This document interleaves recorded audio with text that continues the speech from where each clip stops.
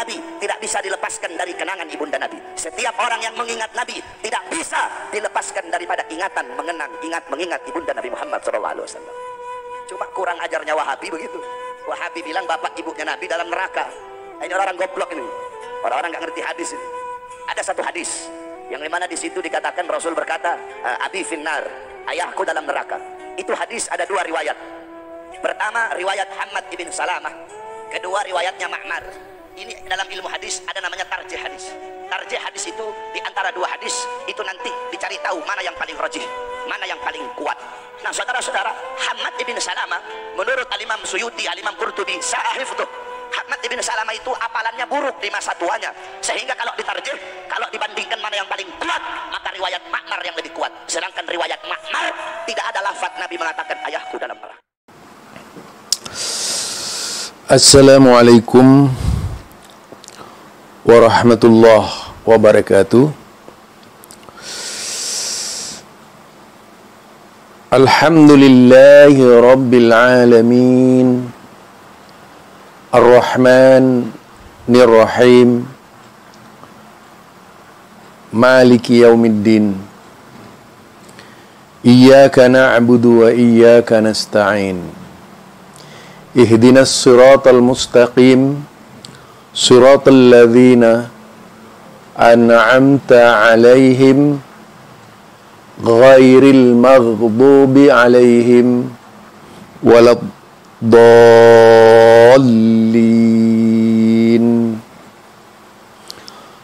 اللهم صل على محمد وعلى آله wa azwajihi wa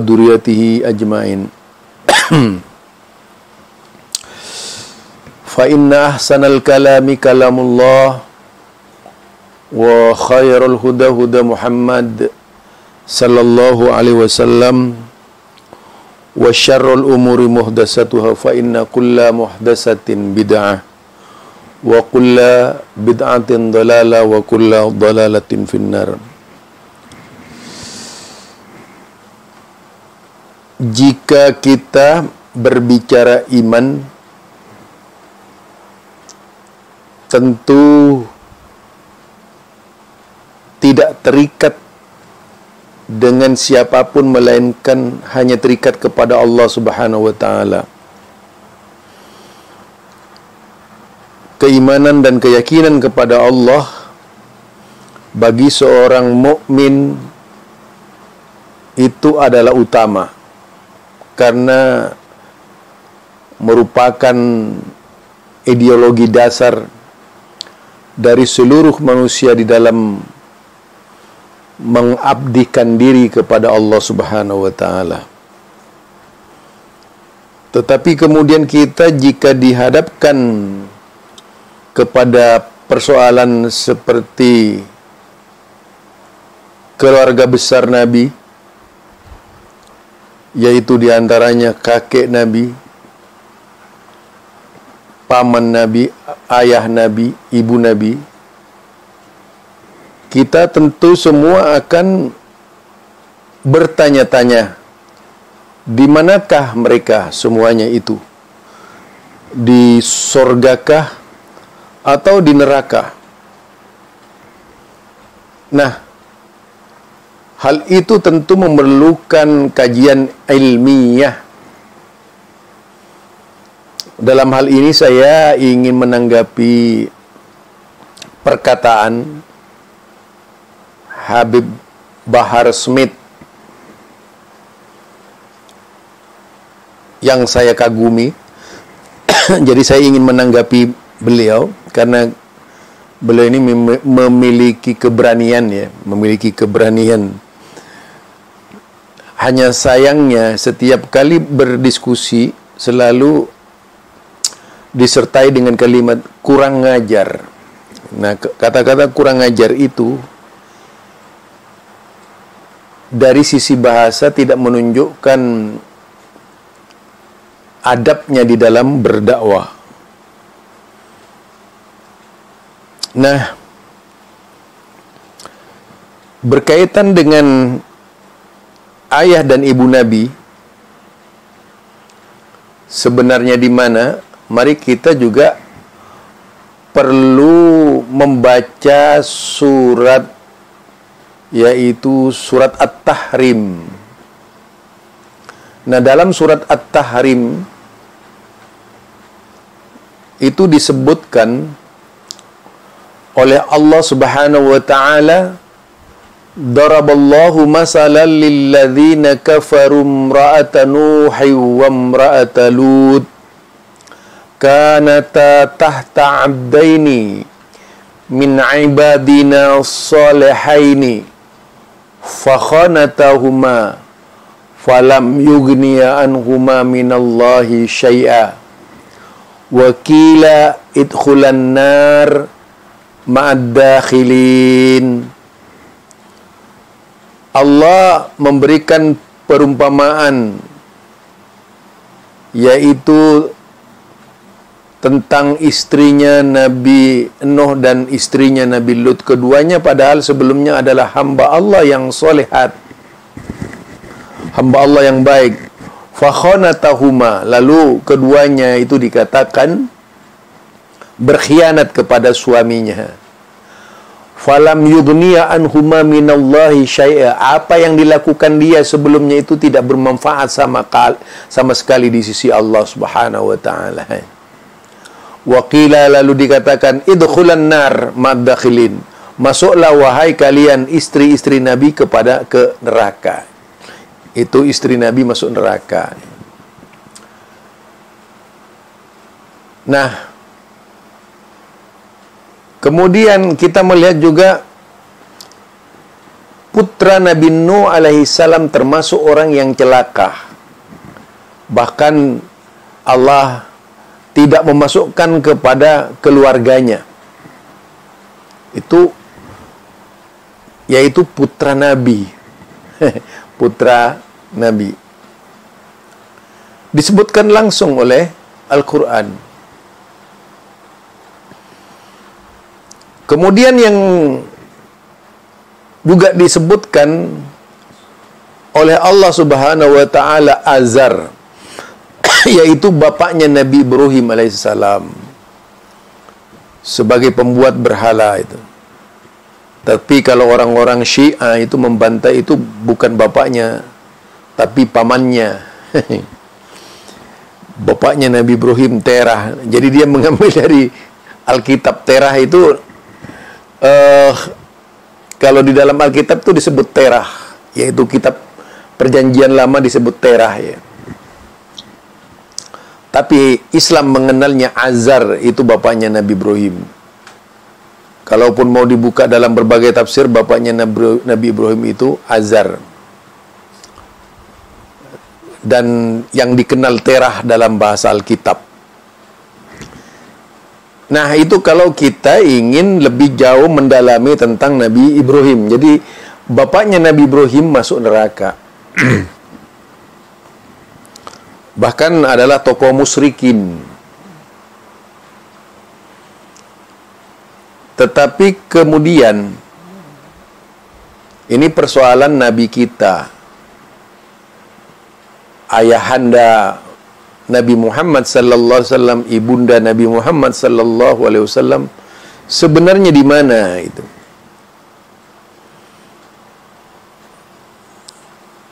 Nah, sampai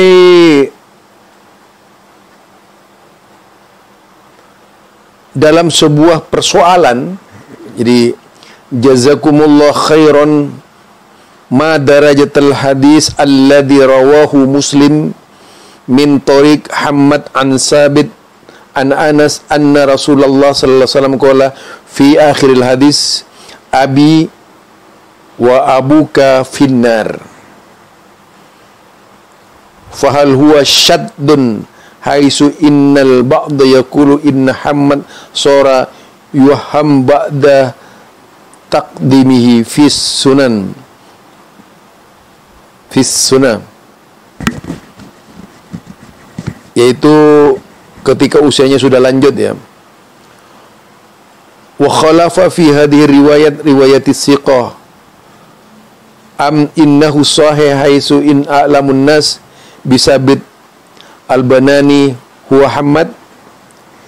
Jadi ini mempertanyakan tentang Hamad sebagaimana yang dibahas oleh Habib Bahar bahwa Hamad dan Ma'mar itu katanya itu sewaktu masa tuanya yang didasarkan kepada seorang ulama hadis hafalannya kacau gitu. Jadi hafalannya kacau, dikatakan kacau yaitu waham. Ada wahamnya ketika yaitu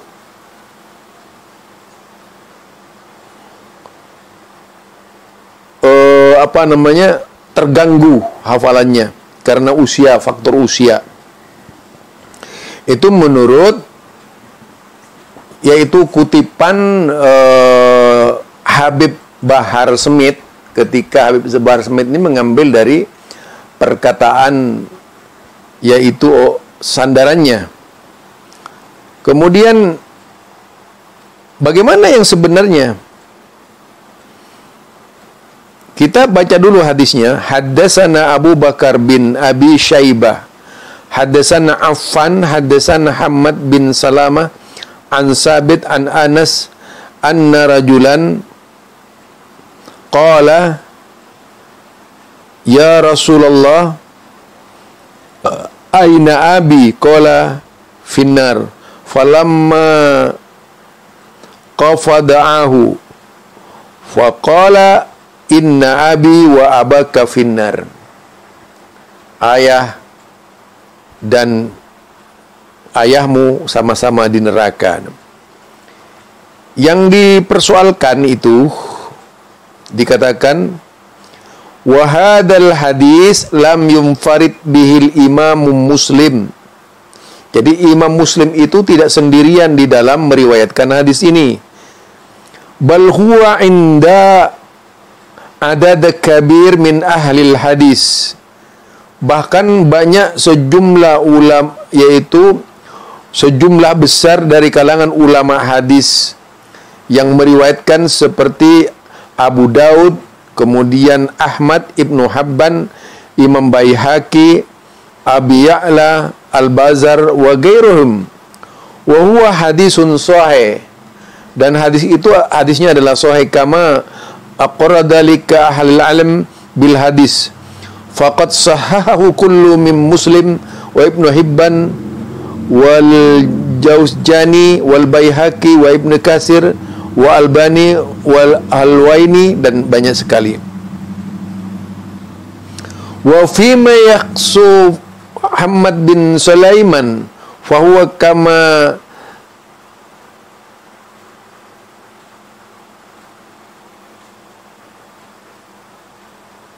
fahuwa kama dakartuhu anta.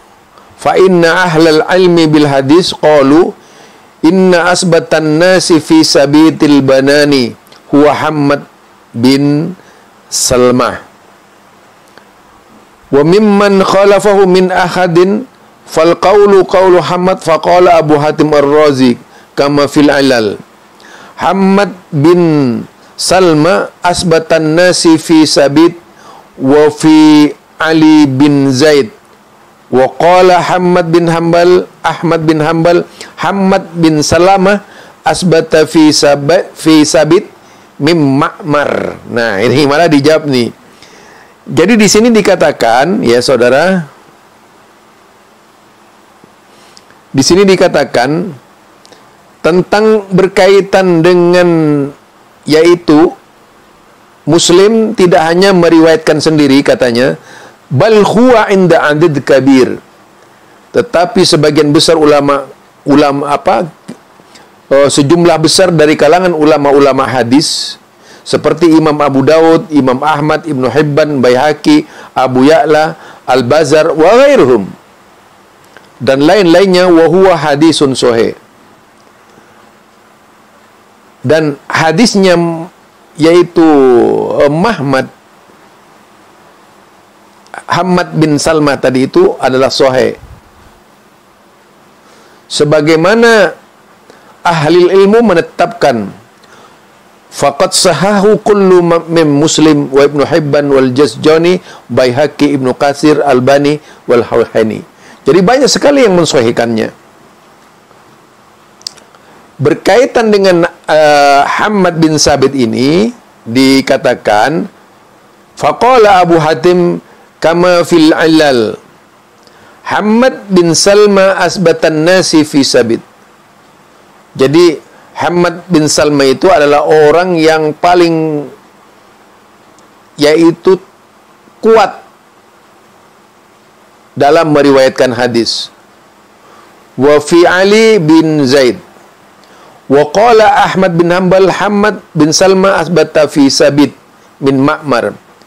Hamad bin Salma asbata fi Sabit yaitu orang yang paling kuat dari Makmar. Nah, Makmar malah lemah itu katanya dari Makmar. Wa qala Yahya bin Ma'in, kalau di, di, ditolak itu Hamad bin Salma ini ini berbahaya sekali. Misalnya Hamad bin Salma yang diucapkan oleh oleh siapa namanya? Habib Bahar bin Semit itu dia menolak Makmar. Berapa banyak hadis dari Makmar di dalam kitab Imam Bukhari, dalam kitab Imam Muslim, menjadi tidak bisa diambil hadisnya. Padahal Bukhari itu memasukkan Hamad itu dalam uh, yaitu dalam berbagai kitab ya. Nah, kalau kita ingin lihat tentang yaitu Hamad bin Salma, kita bisa lihat di sini uh, kita coba melihat di dalam sebuah kitab namanya Jami'ul Kutubut Tis'ah. Uh, jadi Jami'ul Kuput Kutubus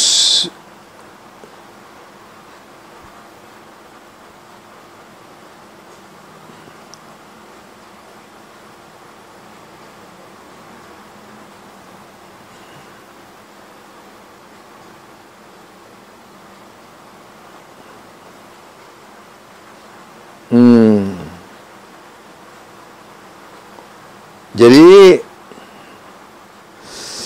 kalau kita lihat di sini akan kita lihat tentang Hamad bin Salma ini. Nah, ini banyak sekali coba bayangkan.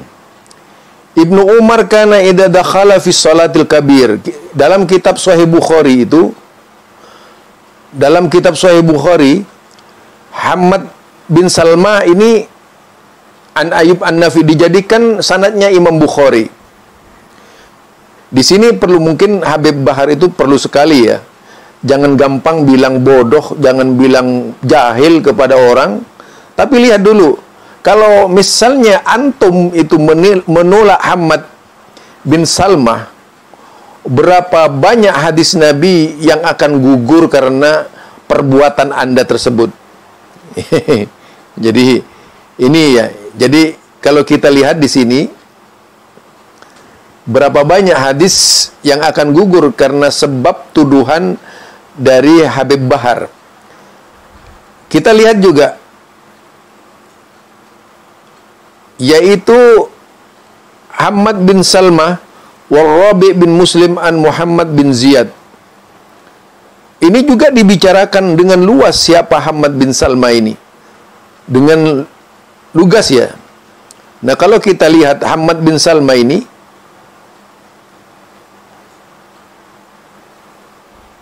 Jadi karena adalah Hamad bin Salma berguna bagiku itu daripada Ammar yaitu bin Abi Ammar. Ya ya Said Al-Qattan qala Al Imam Ahmad Haddasani Abu Husaimah qala sami'tu Yazid Sa'id yaqulu man arada ayaktuba hadisan Hamad bin Salma fa alaihi yaitu Ba'fan bin Muslim qala Hamad bin Salma an banyak ini sekali keterangannya tentang Hamad bin, bin Salma ya. Intinya begini dari kalangan ulama kalangan ulama itu menyebutkan ya Wa qala Ibnu Muharrar Mahruz anhu siqah. ma'mun wa qala Hasim bin Mursad anhu siqah jadi tentang Ma'mar itu semua dikatakan siqah kemudian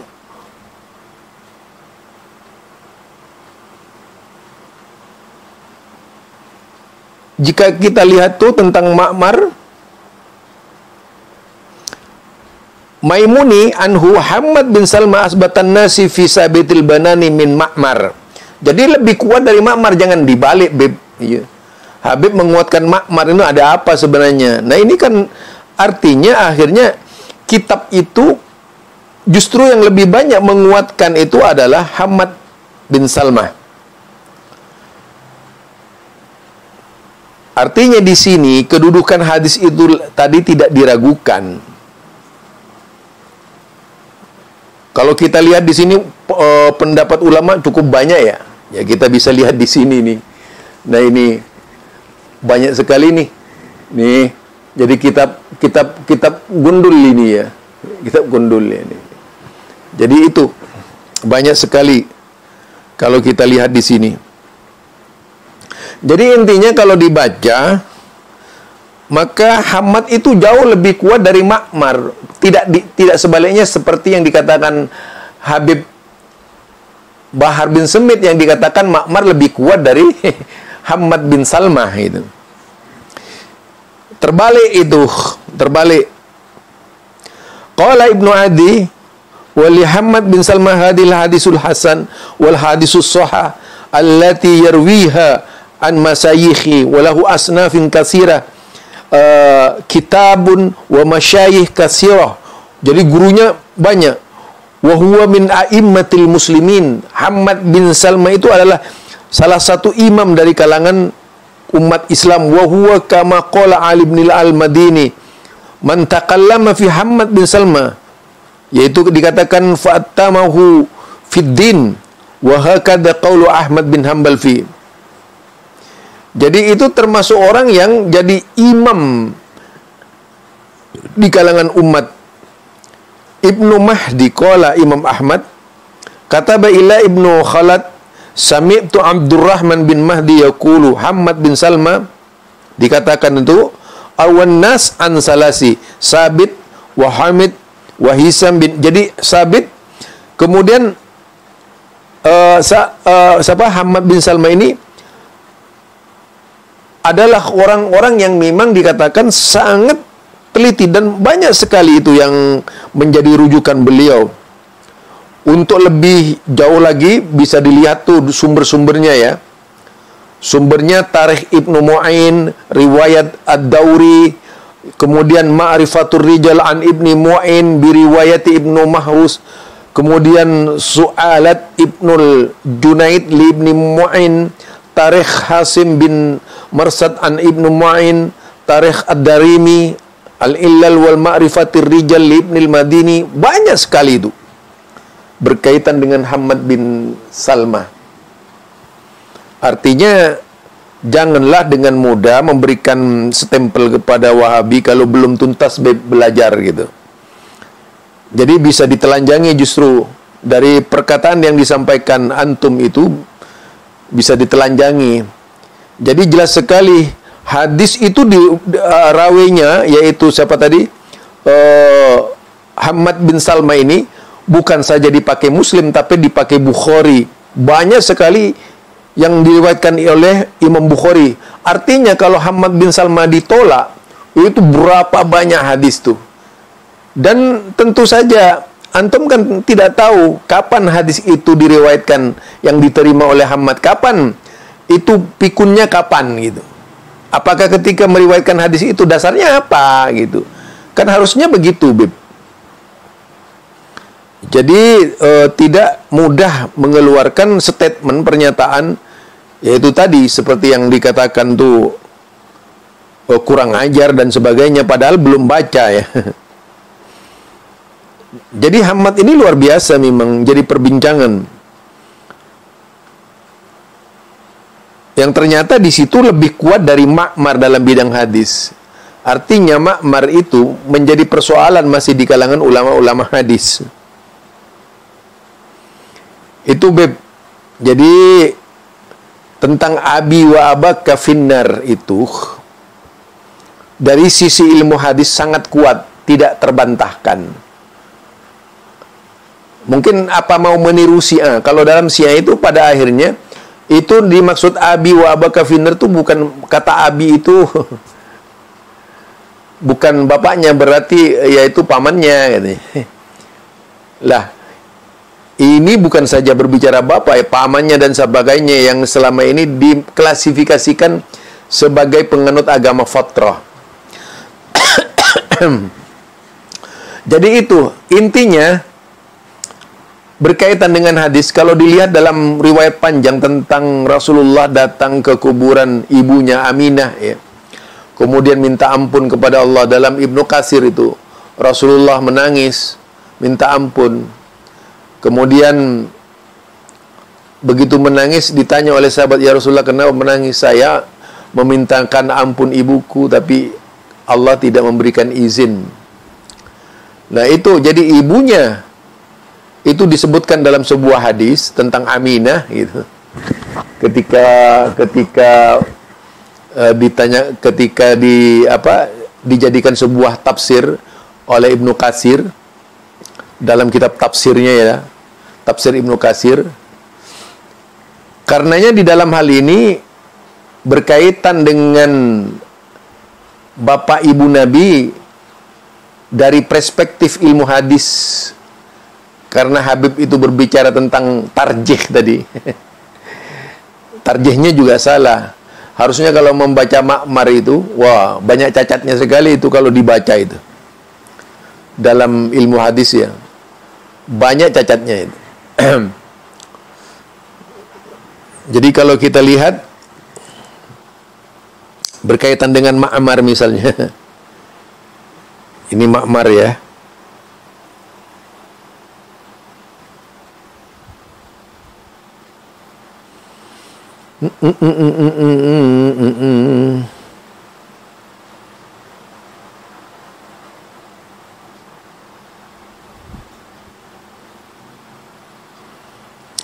Itu banyak sekali diriwayatkan.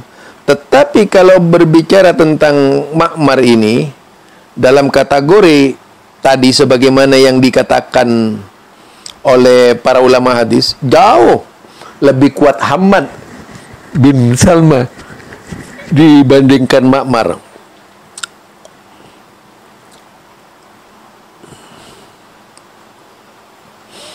Oleh karenanya uh, makmar ini juga uh, kalau kita lihat namanya itu Ma'mar bin Rashid Al-Azdi Al-Hadani Abu Urwah Ibnu Abi Amru Al-Basri Al-Bisri Al-Yamani As-Sun'ani itu banyak nama-namanya. Huwa Ma'mar bin Abi Amru Abu Urwah terkenal dengan sebutan Abu Urwah Basrah Yaman Ya Ma'man Ma'mar itu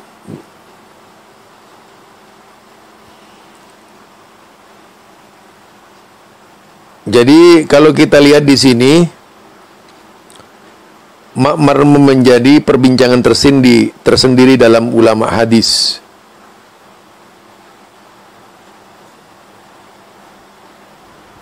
Hmm.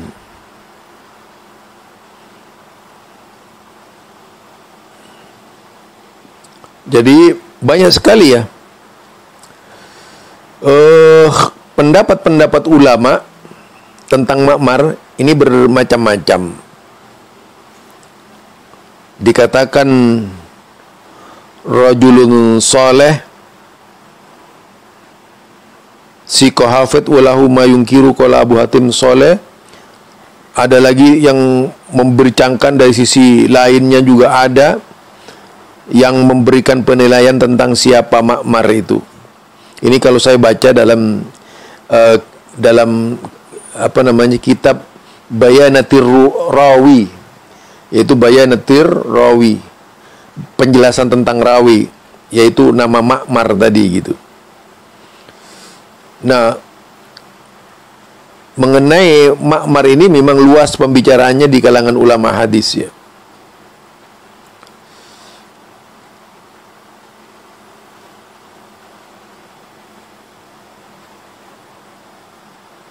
Oleh karenanya berkaitan dengan makmar ini antara hadis makmar dan hadis siapa namanya Hamad bin Salma ya lebih kuat yang Hamad bin Salma bukan yang makmar. Barangkali itu saja dari saya. Saya tidak ingin berpanjang-panjang membahas. Yang jelas, kalau ditanya di mana ayah ibu Nabi, hadisnya lebih kuat Hamad yang mengatakan abaka wa abi wa abuka finnar. Jadi abi ayah dan ibuku fin apa ayah dan bapakmu itu finnar. Itu yang ada. Nah, di dalam hal ini kalau kita lihat perbincangan dari sisi ilmu hadis luar biasa, detail luar biasa. Ya tidak mungkin kalau kemudian saya bisa mengangkat pada malam ini secara penuh.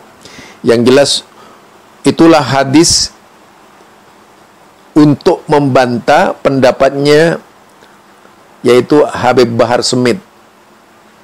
Mudah-mudahan Habib Bahar Semit uh, mendapatkan petunjuk dari Allah, dilindungi oleh Allah dan makin diberi ilmu agar bisa mencapai kebenaran di dalam penelitian bidang hadis. Assalamualaikum warahmatullahi wabarakatuh.